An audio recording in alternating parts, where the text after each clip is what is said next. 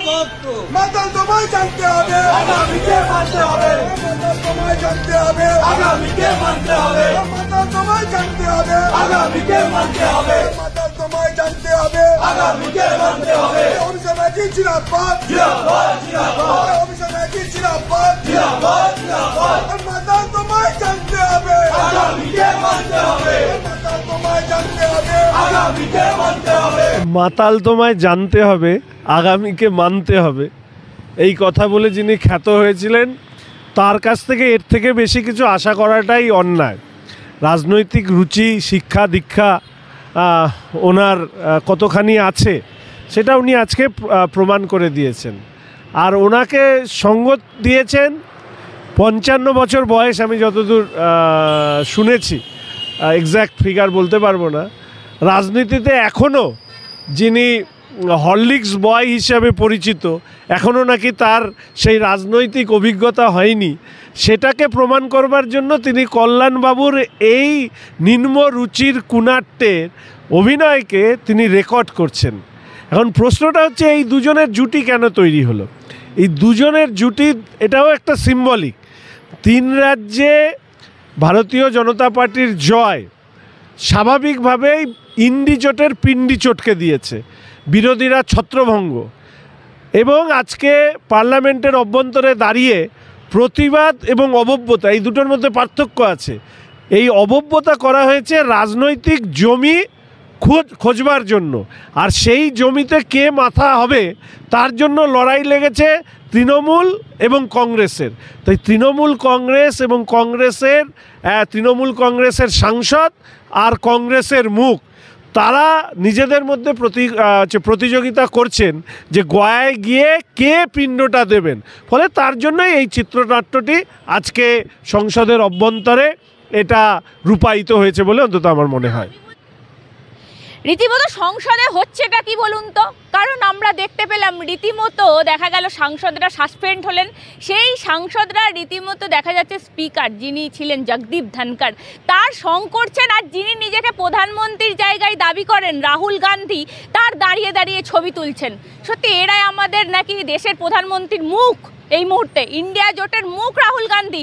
তিনি ছবি তুলছেন আর কল্যাণ ব্যানার্জি রীতিমতো অ্যাক্টিং করে দেখাচ্ছেন ধানকারের। আমার সঙ্গে রয়েছেন বিধায়ক শঙ্কর ঘোষ, কথা বলার চেষ্টা করব। কি বলবেন?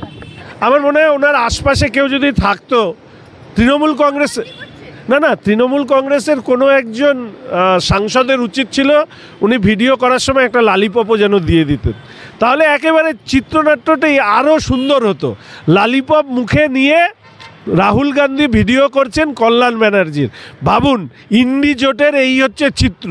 মানে ভোটের আগেই, লোকসভা ভোটের আগেই যারা স্যারেন্ডার করেছে, তাদের চিত্রে এটা একটা ফ্রেম হতেই পারে যে মুখে লালিপপ নিয়ে রাহুল গান্ধী ভিডিওগ্রাফি করছেন তৃণমূল কংগ্রেসের সাংসদের কুনাট্যে আমরা রাজনৈতিক রুচি বলে একটা বিষয় রয়েছে। দুর্ভাগ্য যে পশ্চিমবঙ্গের তৃণমূলের ডিএনএটাই খারাপ। আমাদের বর্তমান রাজ্যের মুখ্যমন্ত্রী তিনি বিধানসভা ভাঙচুর করেছিলেন বিরোধী অবস্থায়। তিনি গণতন্ত্রের কথা বলেন। শাসক হিসাবে তিনি আসার পরে প্রথমে গৌরাঙ্গ চ্যাটার্জি, দেবলীনা হেমব্রম দু হাজার এগারো থেকে দু হাজার ষোলো তাদেরকে মেরে হসপিটালে পাঠিয়েছিলেন। এসএসকেএম ভর্তি পর্যন্ত নিতে চায়নি। যে এসএসকেএম এখন নেতা, মন্ত্রী, অভিযুক্ত যারা চোর, তারা শিশুদের বিছানা কেড়ে নিয়ে ওখানে শুয়ে থাকে। দু ষোলো থেকে দু হাজার একুশ আব্দুল মান্নান বিরোধী দলনেতাকে মেরে আবার এই শাসক তৃণমূল তারা হসপিটালে পাঠিয়েছিল। দু হাজার একুশ পরবর্তী সময় আমাদের বিরোধী চিফ হুইপ যিনি আছেন মনোজ নরহরি মাহাতো, এই তৃণমূল কংগ্রেস তারা হচ্ছে মেরে পাঠিয়েছে হসপিটালে। ফলে তৃণমূলের ডিএনএর মধ্যে যে সমস্যা রয়েছে, সেটা দুর্নীতির সমস্যা হোক আর সেটা দুর্বৃত্তের আচরণ করবার সমস্যা হোক, ফলে স্বাভাবিকভাবেই কল্যাণ ব্যানার্জির মতন চিপ পলিটিশিয়ানরা এই ধরনের কাজ করতেই অভ্যস্ত হবে, এটাই স্বাভাবিক। আর রাহুল গান্ধী রাজনীতির ক্ষেত্রে কতখানি অনভিজ্ঞ তার এই আচরণের মধ্যে দিয়ে তিনি প্রমাণ করে দিয়েছেন। তাই জন্য আমি বলব যে জনগণের পক্ষ থেকে হোক বা তৃণমূলের পক্ষ থেকে হোক, ওনাকে অবশ্যই যেন লালিপপ গিফট করা হয়। ভারতীয় জনতা পার্টি বা মাননীয় নরেন্দ্র মোদী মহাশয়, আমাদের মাননীয় প্রধানমন্ত্রী, তাদের এফোর্ট এই সারা দেশে বিজেপির তৃতীয়বারের যে সরকার তৈরি হবে সেই নিয়ে তারা যতখানি না এফোর্ট দিচ্ছে তার থেকে অনেক বেশি এফোর্ট বিরোধীরা দিচ্ছে যাতে নরেন্দ্র মোদী তৃতীয়বারের জন্য প্রধানমন্ত্রী হন। তাদের এই আচরণের মধ্যে দিয়ে সেটা প্রমাণিত হচ্ছে।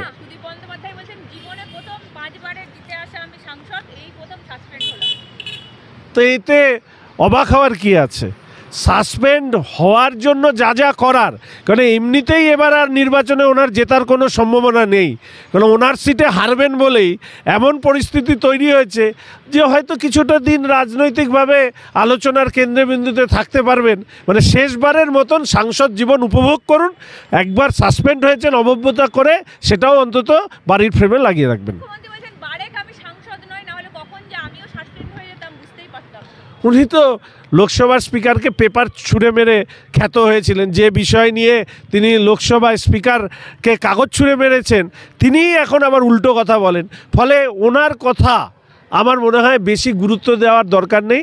সকালে এক কথা বলেন, বিকেলে এক কথা বলেন, এই ধরনের মুখ্যমন্ত্রীর কথার জবাব না দেওয়াই ভালো তিনি ইন্ডিয়া জোটের মুখ হতে চান সেই রকমই তৃণমূল কংগ্রেস থেকে হাওয়া হাওয়া, সে তো বেলুন ফোলাতেই পারেন। বেলুন ফুলুক, যতবারে বেলুন ফুলুক, নির্বাচন আসবে, নির্বাচন আসলে সেই বেলুনের যে পিনের কাজটা, সেই পিনের কাজটা জনগণ করবে। চারশো লোকসভায় এবার ভারতীয় জনতা পার্টির টার্গেট হচ্ছে চারশো সাংসদ।